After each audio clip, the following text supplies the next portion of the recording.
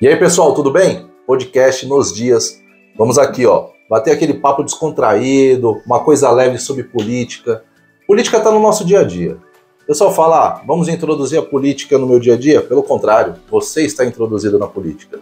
E para você ser uma coisa mais leve, você precisa entender, você precisa discutir, mas sem aquelas palavras difíceis. Às vezes as pessoas colocam cabresto e nós não conseguimos entender o que é a política mesmo estando inseridos nela. Por isso o podcast veio aqui para falar de uma forma bem descontraída e ser agradável aquilo que nós temos e vivemos no dia a dia. Vem aqui que hoje nós falaremos de um assunto muito importante: direita, esquerda. Existe só isso? A política está polarizada apenas em direita e esquerda? O que é centro? O que é centro-direita? O que é centro-esquerda? Qual a importância dos partidos de centro-esquerda? O que é a política centro-esquerda? Por isso, hoje nós vamos conversar com Peterson Juan, um cara extremamente político que sabe desmembrar bem o que é e vai explicar para nós o que é ser um política centro-esquerda e como esse viés, de que forma trabalhando isso, a população ela tende a melhorar cada vez mais. A qualidade de vida tende a melhorar cada vez mais com uma política certa, uma política honesta e uma política ideal, socialista. Tudo bem, Peterson? Tudo Como bem, você Thiago? Tá, Beleza? Obrigado pelo convite. Estou muito bem aqui, descontraído, porque o papo aqui eu sei que é informal e sabendo que a gente pode falar o que a gente pensa, que é a livre manifestação, que é o direito da imprensa, que é o direito da liberdade. Hoje a gente está no dia 9, mas o dia 7, dois dias atrás, foi o Dia Nacional da Liberdade de Imprensa. Quero parabenizar todos os jornalistas, todas as pessoas que levam a imprensa, notícia, pela imprensa, notícia, informação de forma correta, porque o que nós temos visto aí é uma deformação da informação ou puramente mentira, que são as famosas fake news. Isso atrapalha até das pessoas entenderem o que é a política no dia a dia, como disse o nosso mestre aqui, o Thiago. É isso aí. E ó, sem perder tempo, vamos lá porque esse tema é muito importante, eu acho legal isso aí. Por quê? Você vai nas regiões, é, vamos dizer que hoje a política é dividida em dois extremos. Dizem que na classe A, nas partes mais abastadas, a direita impera, na classe mais desfavorecida, C e D, ali é totalmente esquerda, mas não é assim que as coisas funcionam. Nós temos um grupo coeso que forma a política como um todo. Com certeza. Não é? É isso aí. E você, você já milita há muito tempo na área política. Então, por exemplo, você já atuou no IPEM, você é um grande expoente na advocacia. É, o PPS é o partido que hoje. É o Cidadania hoje. Que é o Cidadania, né? Olha, legal, essas mudanças é importante. Por quê? Às vezes a pessoa ela vai chegar no dia das eleições, ela vai ali procurar um folhetinho, um santinho, ela não tem uma opinião formada. Mas por que, que ela não tem uma opinião formada? Porque não se cria uma formação política nas pessoas. Perfeito. Então, essa é a oportunidade de mostrarmos para ela o que é a política, quem é você, para que ela tenha essa assimilação, ela tenha esse contato com o seu carisma, que ela venha entender e no dia das eleições ela escolher de forma correta o seu candidato. Perfeito, é, é isso mesmo. Então dá uma clareada, me explica. Eu ainda não sei sobre isso, eu sou extremamente ignorante a respeito Imagina. disso. Me explica como que é. Tiago, simplesmente é, desde a sua história, da Revolução Francesa, que teve lá os três pilares, né, liberté, igualité e fraternité, que a gente leva pela, pela República até hoje, que é ter fraternidade, ter liberdade, né, e a legalidade, todos os atos da administração pública, que é o Estado, tudo tem que ser dentro da lei, porque uma coisa é você viver a vida civil, faz tudo que a lei não proíbe, mas na vida prática da administração pública, você só pode fazer o que a lei permite. Então, é, é esse, é, essa dicotomia de esquerda e direita, que vem lá dos gerondinos e, e, e que dividia os mais é, de posses, de terra e poder da antiguidade e os é, pessoas que eram puramente mão de obra, que eram os, os serviçais, é, vem o Brasil, isso, com a sua colonização, os senhores de engenho, é, os poderosos com a Igreja Católica, que a Igreja Católica ela tem um cartório mais antigo do mundo, porque você pode não encontrar dados em determinados cartórios do dia a dia. Se você for buscar no, na Igreja Católica, lá ela vai ter grandes, grandes registros. E ela ajudou a formação do Estado no Brasil. E essa, e, e essa fala de esquerda e direita, eu acho que a gente tem que parar com isso. Isso daí não leva a vida das pessoas para melhoria, qualidade de vida. A gente tem que pensar é respeitar o dinheiro público, respeitar as pessoas, a liberdade das pessoas e mais, a nossa Constituição, que tem o nome de Constituição Cidadã, ela imperou a dignidade da pessoa humana. Então, a pessoa tem que ter moradia, a pessoa tem que ter o seu mínimo de sobrevivência, que são as necessidades primárias. Ninguém está falando que a pessoa tem que ser sócia de um clube, que a pessoa tem que ser é, proprietária de um veículo, mas ela tem que ter dignidade no seu dia a dia, que é a dignidade da pessoa humana. Então eu acho que essa questão de esquerda-direita, o MDB lá atrás brigou pela redemocratização do país, depois surgiram outros partidos, que nem eu fui do PPS, que hoje é Cidadania.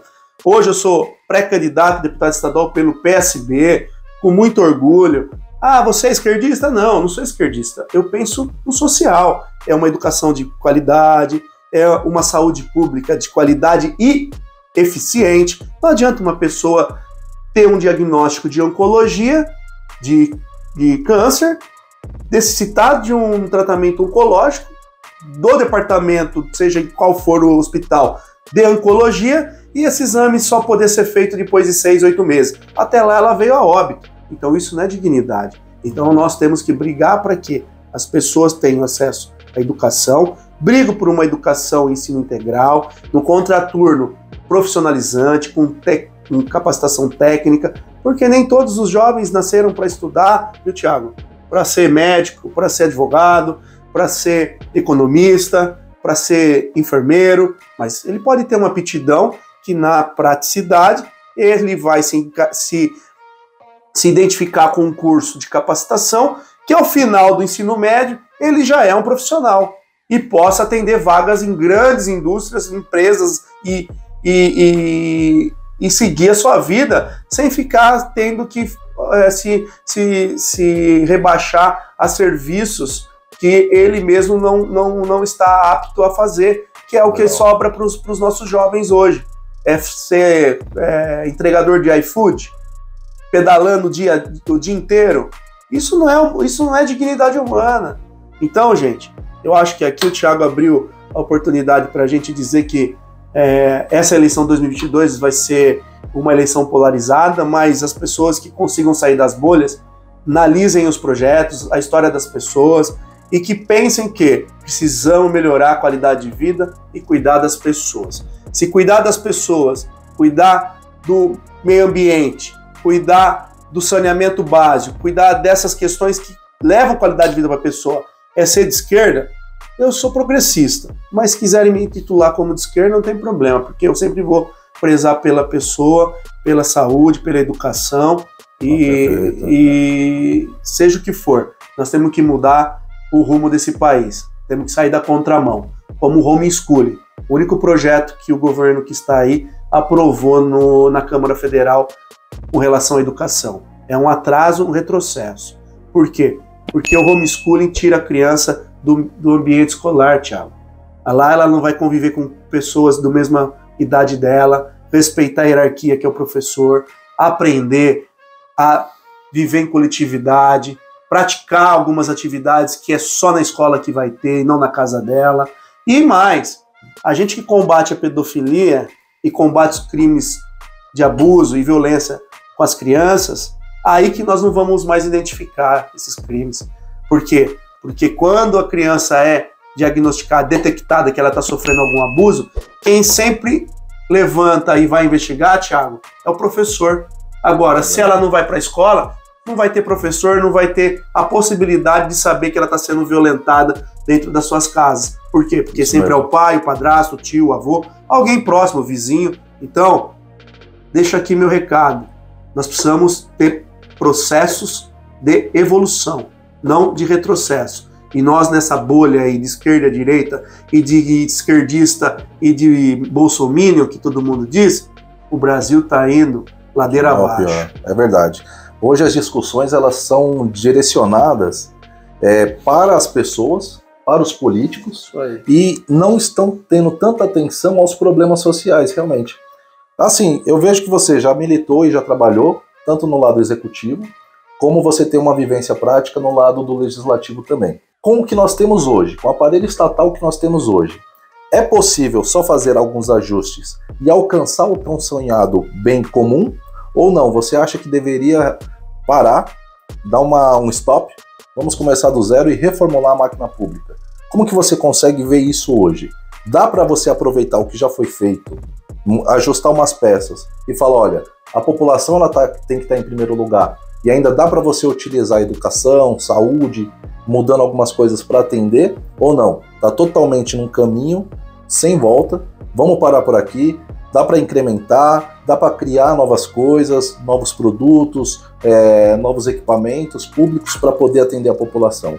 Você acha que hoje do jeito que está, tem como continuar e só mudar umas vertentes ou não? Você acha que tem que parar e começar do zero, uma nova política? É, na sua visão, na sua visão. O que um povo quer saber é isso. E não adianta a gente também conversar e falar aquilo que vai agradar um político ou outro. Aqui a gente está para falar com a população. E você tem uma experiência prática, que é legal. Às vezes eu, eu converso bastante com pessoas que atuam no terceiro setor, é, já foram é, subprefeitos, secretários, mas você já tem uma vivência prática totalmente diferente. E é isso que eu queria explorar contigo. Porque às vezes as pessoas estão ali e falam: em quem eu vou votar esse ano? Eu tô vendo um brigar com o outro, Isso aí. um tentar arranhar a imagem do outro, mas o meu problema, ninguém tá falando sobre isso. É isso mesmo. Ah, então, o que, que você acha? Dá para continuar como tá e mudar alguma coisa ou tem que parar e começar do zero? Olha, é, o AI-5 deixou uma marca muito ruim no nosso sistema federativo. Vamos fazer uma comparação. São Paulo tem 44 milhões de habitantes. O Acre tem 800 mil habitantes, equivalente à cidade de Ribeirão Preto, interior de São Paulo. Só que os dois estados têm a mesma representatividade em Brasília, de três senadores cada estado. Aí está a, o problema que a gente vive do pacto federativo que nós precisamos muito realizar. Nós temos que criar a proporcionalidade que tenha, no mínimo, um quarto paulistas. Por quê? Porque nossa população representa um quarto da nossa população no Brasil. As reformas é, estruturantes que o Brasil precisava desde a virada do século não aconteceram. Administrativa, sempre beneficiando militares e o poder judiciário. Isso não é isonomia, isso não é igualdade. Então, como é que a gente vai reformar algo que sempre tira da balança determinadas categorias e o resto segue o que deve ter que ser alterado? A reforma tributária. Duas PECs, a 110 e a 45, se juntaram, viram uma coxa de retalho.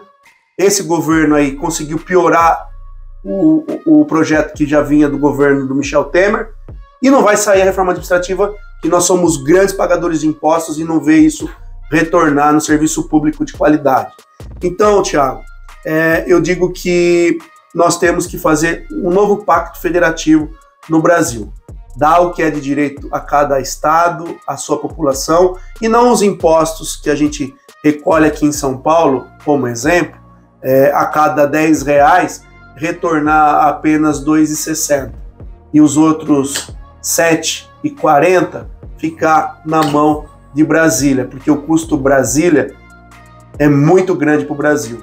Então nós temos que fazer uma, um novo ajuste, ajuste institucional, de reforma estruturante, seja ela administrativa, tributária, tivemos a reforma da Previdência, que ainda não é a perfeita, mas pelo menos avançou. Então, a minha, a, a minha indagação aqui é: quem fará isso? Será que os que já estão lá farão? Ou nós vamos ter que criar um novo poder constituinte e começar do zero, como o Tiago aqui mencionou?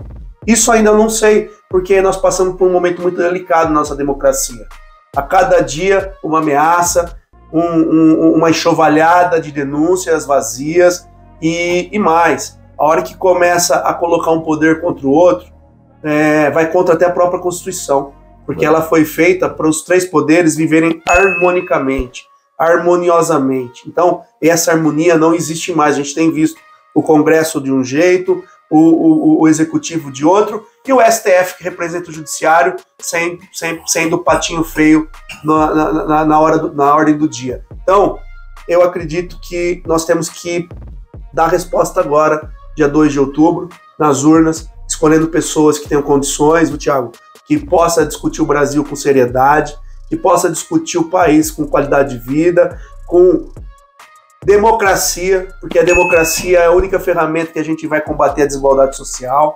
Não é a, a autocracia que a gente tem visto aí, o Estado sou eu. Não, o Estado são três poderes: executivo, legislativo e judiciário. E se eles não estiverem convivendo de forma harmônica, Tiago, nós vamos ter o Brasil cada vez mais de ladeira abaixo. Exatamente, ó. Uma coisa que eu tenho levantado bastante, muito, vocês têm acompanhado, é a profissionalização da política. O que seria a profissionalização da política? É você começar a analisar e você escolher com critérios, critérios objetivos. Hoje, se você for trabalhar, pensa, eu estou procurando emprego, você é empresário. Então eu te entrego um currículo, mais 50 pessoas te entregam currículos. Você vai mandar para uma equipe técnica, ou você mesmo vai pegar, vai analisar aqueles currículos, vai buscar procurar fatores objetivos para poder escolher quem é o melhor candidato. Uma vez escolhido, você convoca, faz uma entrevista, você conhece realmente quem é aquele candidato, dá uma oportunidade e começa a fiscalizar. Se começarmos a colocar esse padrão na política, só que aqui é o inverso. Aí a população é quem vai analisar os currículos e vai escolher. E aí você começa a escolher o seu candidato com fatores objetivos. Por exemplo, em poucas palavras, em um, poucos minutos que nós temos aqui, você já demonstrou que realmente você conhece o que é a máquina pública. Sim. Então, se você sentar numa cadeira do legislativo, você vai fazer projetos de leis mais objetivos, você vai conseguir entender o que é a população, é, você sabe transitar e conversar com a direita, esquerda, centro-esquerda, direita, centrão. É diferente quando a pessoa escolhe o seu candidato apenas por uma emoção. Perfeito. Ah, saiu no YouTube, tem lá uma 50 milhões de, de seguidores, olha, eu me identifico, essa pessoa fala palavrão como eu, essa pessoa é desencanada como eu. Mas espera aí, poxa, essa pessoa vai tomar decisões que vai refletir na nossa vida. Não há profissionalização. Acho que quando nós começarmos a entender que a política ela é também uma questão profissional e você passar a escolher com critérios objetivos, fica muito mais fácil depois você cobrar aquela pessoa que realmente ela nasce para ser política, porque ser político é um sacerdócio. É uma missão. É uma missão. As pessoas Isso. encaram que a política é um meio de roubar. Não, é porque quem está lá, quem está sendo escolhido, está sendo escolhido de forma errada. Está vendo como uma oportunidade. A política, na verdade, é uma missão de fazer o bem ao próximo. Então, quando você tem esse senso crítico e começa a escolher melhor os seus candidatos, fica muito mais fácil. O que, que você acha é, hoje, no cenário atual que nós temos aqui em São Paulo? Você acha que ele está defasado? Você acha que São Paulo hoje está bem administrado, mas poderia melhorar? Ou você fala, não, São Paulo, por você ser de São Paulo, é, eu acho que está indo realmente no caminho errado é, dá para a gente melhorar muito, mas se nós acertarmos agora algumas coisas. Você se colocando hoje, se você fosse o governador ou o prefeito de São Paulo, você analisando São Paulo, você vê certos problemas. E na sua cabeça você fala: olha, se atuar dessa forma, se tomar certas decisões desse jeito, esse problema específico tem solução. Você consegue mentalizar isso? Com certeza. Consegue? Consigo. Então você quer participar agora do quadro Prefeitando? Com São certeza. Paulo? É? Agora. Então, pessoal, vamos para o quadro Prefeitando.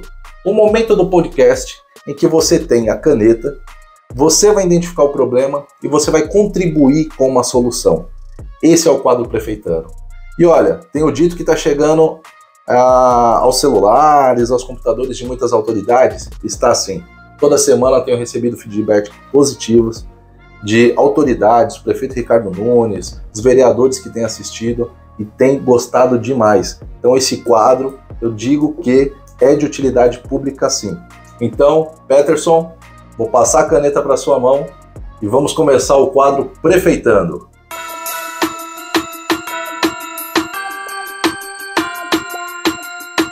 Então vamos lá, quadro Prefeitando, só que agora vou colocar você numa saia justa. Vamos nos concentrar apenas, por quê? Dizem que o Estado ele deveria se preocupar apenas com três pilares: saúde, educação, segurança pública. Então eu vou escolher aqui um dos três temas e você vai poder exercer o seu mistério de administrador em cima desses três temas. Um desses três temas. Vamos ver. Quer escolher? Melhor. Vamos, Vamos lá. aqui. Vamos falar sobre. Tan, tan, tan, tan. Saúde. Saúde. Saúde pública. Vai lá, Pedro. Pois é.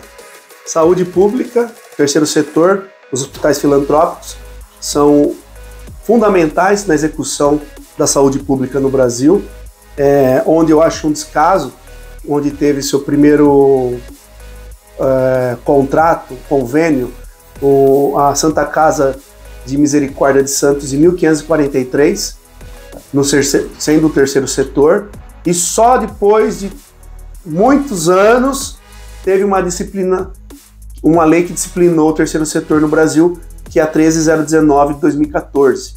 Até então era só feito os, os convênios com a 116 da lei de citação. Para você ver a importância e o descaso de ter uma legislação específica.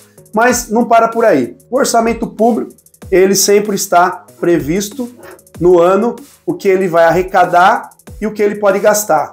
Então, eu acho que tem situações que devem ser priorizadas como o orçamento do transporte público. Nós temos que abrir parcerias, parcerias públicos privadas, a PPP, para que você desonere o município de São Paulo em pagar bilhões por ano de subsídio ao transporte, aonde poderia estar indo para a saúde pública. As Santas Casas, deixa um recado aí, um apoio a todos os hospitais filantrópicos da cidade de São Paulo.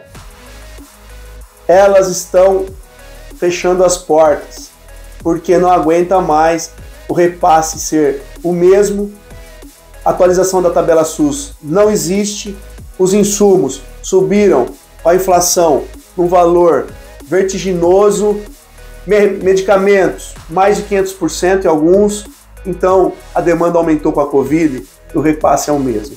Então a saúde pública não tem como dar solução sem recurso, sem a humanização da saúde pública no Brasil e em São Paulo não seria diferente. Então, se eu fosse o prefeito de São Paulo, destinaria todo o meu orçamento possível para a saúde pública, para resgatar a saúde aqui na cidade. Acabar com a fila de catarata, cirurgia de catarata, acabar com o exame voltado à oncologia, a exames específicos e cirurgias, zerar as filas que existem em São Paulo e dar todo o suporte para esses hospitais filantrópicos não fecharem as portas. Porque se as Santas Casas fecharem as portas, é a morte da saúde pública no Brasil.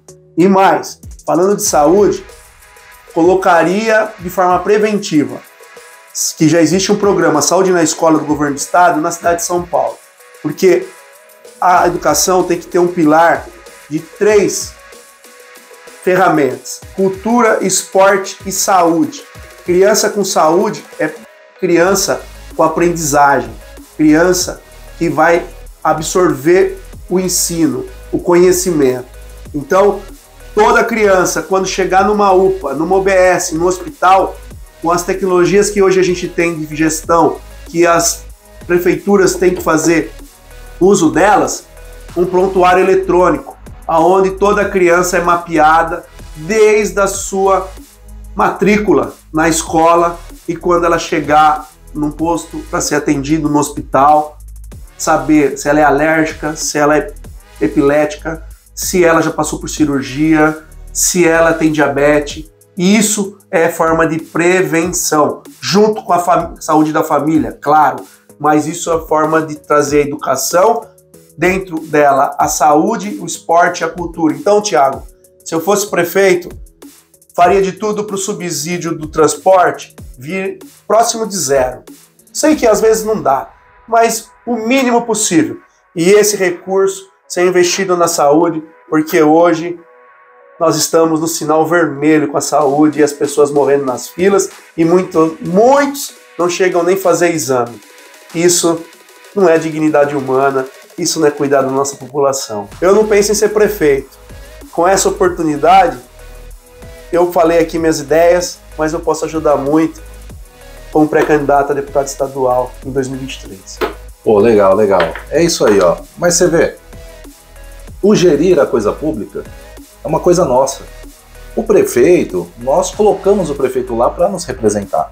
Mas nada impede que contribuamos também com essas ideias.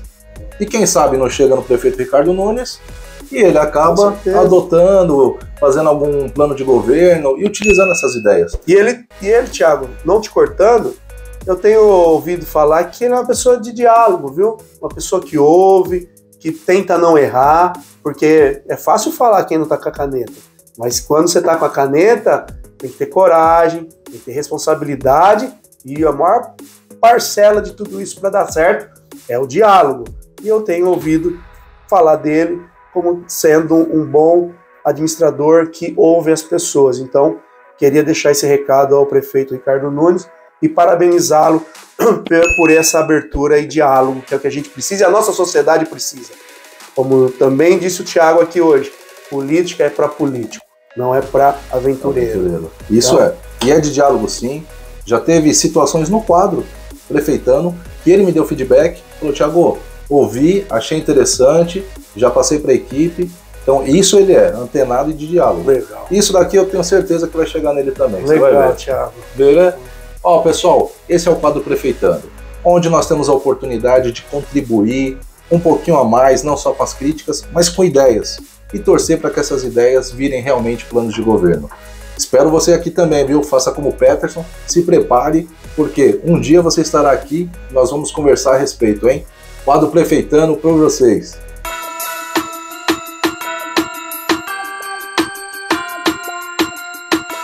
E aí, Peterson, agora para mim aqui, ó, se apresenta. Por quê?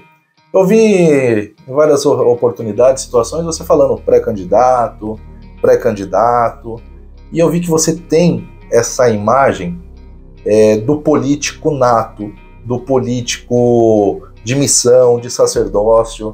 Então, não querendo fazer campanha, pessoal, porque aqui a gente não está para fazer campanha. Aqui a gente está para levantar a democracia, para valorizar o ser humano, a dignidade da pessoa humana, buscar reduzir as desigualdades sociais.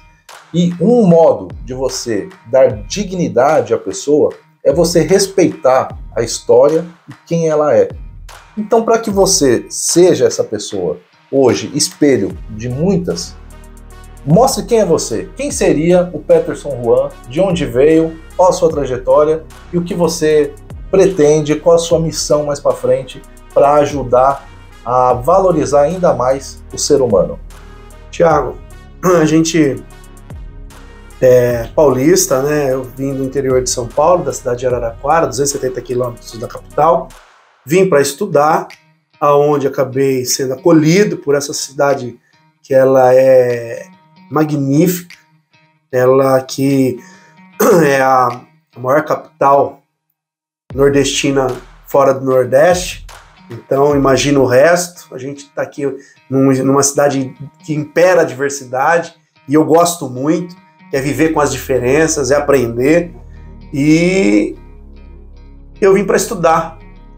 Me formei, vim para fazer pós-graduação, me preparar para concurso, mas logo já recebi um convite por causa da vida política de exercer um papel no gabinete da Secretaria de Serviço São Paulo que lá cuidei da iluminação pública, do serviço funerário e do, da coleta de lixo do município.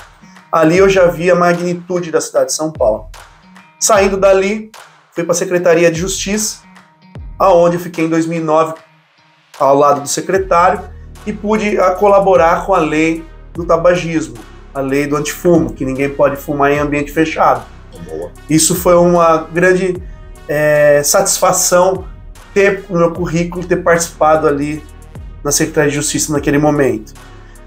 Fui 2009 para a autarquia vinculada à Secretaria de Justiça, que é o IPEM, o Instituto de Pesos e Medidas, que é um órgão delegado do Metro Brasil, vinculado à Secretaria de Justiça do Estado, ser diretor jurídico. Lá eu fiquei até 2014. 2014, saindo de lá, fui para Cajamar ser secretário de Justiça da cidade de Cajamar. Com muito orgulho de pegar uma cidade ao lado de São Paulo, na região metropolitana, muito industrializada, com uma riqueza magnífica também perante a sua seu número de população e pude colaborar muito com a cidade. Saindo de lá, fui para Guarulhos, ser secretário de Fazenda, aonde também levo comigo, porque a justiça social se faz com justiça fiscal. Como secretário de Fazenda, pude equacionar ali as dívidas do município. Cheguei no município, tinha um tratamento de água lá, Tiago, de 2,38% de esgoto tratado. Isso não pode. Reflete na saúde, reflete na educação. Falta de saneamento já não dá mais. E falar de despoluição do Rio Tietê sem cuidar do saneamento da cidade de Guarulhos é inócuo. Então, com a dívida que o SAI tinha de 3,8 bi com a Sabesp, nós fizemos uma paralisação junto ao DEP para que não pagasse mais o precatório que estava impagável. Fizemos todo o trabalho de PDV, que é programa de, de aposentadoria voluntária dos funcionários, todos os funcionários que a Sabesp iria aproveitar, os que iriam ficar pela prefeitura, ativo, passivo, dívida ativa, dívida uh, uh, que, que os contribuintes tinham com, com, a, com o SAI, que passaria para a Sabesp. Então, todo esse trabalho jurídico e financeiro, participei ativamente. E no final de 2018, é, o governador Márcio França já estava no Palácio dos Bandeirantes. Nós passamos o SAI de Guarulhos para a Sabesp, tornando uma é, vida saudável com menos 3,8 bi nos cofres da prefeitura, no, no cofres da prefeitura. Com isso, eu lá já em 2017 verifiquei que o aeroporto, aquele monstro no meio da cidade, não pagava IPTU. É, mas por que, que não paga IPTU? Não, porque é Infraero. Não, não. Não é Infraero. Em 2012 começaram as concessões. Então, se em 2012 começaram as concessões, já era atividade econômica ali, empresas que faziam parte do consórcio. Levantamos uma tese, levei o estudo a fundo. Em 2017 mesmo lançamos o IPTU do aeroporto que está, sendo discutido e eu tenho certeza que quando chegar no STF, na decisão final da disputa judicial que hoje está a Gru Airport com a Prefeitura de Guarulhos, a Prefeitura de Guarulhos se tornar vencedora dessa ação e a Gru Airport terá que pagar uma fortuna, que isso vai reverter em qualidade de vida para a população e também ajudar em obras de mobilidade urbana daquela população que está lá atrás do aeroporto, na, no lado oposto da rodovia Presidente Dutra e o centro da cidade. Então, são essas ações que me levaram a decidir a minha pré-candidatura. Hoje eu estou no Senado, tenho que me descompatibilizar agora, Tiago, esse mês, até pela minha pré-candidatura a deputado estadual em São Paulo. Mas eu digo, a vida pública realmente está no meu sangue, é, é uma missão. Às vezes você é político, não, nós somos missionários. Porque cuidar da vida das pessoas não é fácil. E muito acontece de uma ação ser menos prejudicial do que uma omissão. Então, gente, ao invés de ficar reclamando, denunciando, apontando o dedo, se coloque, tenha coragem de vir fazer alguma coisa para a população. Porque a omissão acarreta prejuízos e danos irreversíveis, mais do que talvez uma ação errada. É o que eu digo. Errar é natural das pessoas. Mas se a gente tem diálogo, ouve, busca o entendimento dentro das divergências até ocorrer a convergência da matéria, saem coisas boas. É por isso que eu gosto de política, é por isso que eu gosto da democracia e de diálogo. E com isso, hoje já estou com 46 anos, preparado, me sinto para enfrentar qualquer mandato, qualquer tema, qualquer debate, porque o Brasil precisa de progresso Brasil precisa reagir. Retrocesso, vamos virar página a partir de 1 de janeiro de 2023. Isso aí, obrigado, Peterson.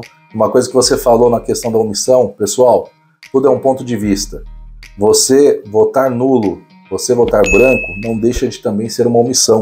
Quando você deixa de escolher uma pessoa em quem você vai acreditar. Ah, mas aí você matou, eu não acredito em ninguém. Não acredita porque você não busca conhecer quem são os candidatos. E aqui no podcast Nos Dias, a nossa intenção é mostrar quem é a pessoa. Nem todo mundo que vem é candidato, mas também não podemos impedir as pessoas que venham de serem candidatos. O importante é você conhecer quem aqui está, você conhecer quem fala com vocês, e aí sim, o mais importante, ter um conhecimento diferente do que a política, de forma clara e objetiva. Tenho certeza que você abrilhantou demais, você esclareceu para muitas pessoas o que é a política nos dia a dia. Então, Peterson, te agradeço. Eu que Muito agradeço, obrigado, Thiago. obrigado mesmo por você ter vindo. E... Olha, você não sabe como você criou valor. Tem a diferença de preço e valor. Podcast nos dias não tem preço, tem valor. E você aumentou ainda mais o valor desse programa. Muito obrigado mesmo. Obrigado cara. você, Thiago, pelo convite. É, eu acho que a liberdade de manifestação tem que perdurar enquanto a gente estiver aqui respirando, porque a democracia é isso. É direito de falar, direito de se manifestar, direito de ouvir e debater, porque é, sem isso não vai ter solução nenhuma e não vamos ter o combate à desigualdade social que cada dia temos visto aumentar no nosso país. Então, Tiago, parabéns aí pelo podcast é, que tem abrilhantado na, na relação com a sociedade, de levar a informação como ela precisa ser levada, tá? E nos dias já está sendo um grande sucesso. Parabéns. Oh, obrigado e vamos juntos. Vamos lá. É nóis, pessoal. Nos dias daqui para aí, daí para cá, o importante é estarmos unidos, a mente sã e a política no nosso coração. Abraço, pessoal. Abraço.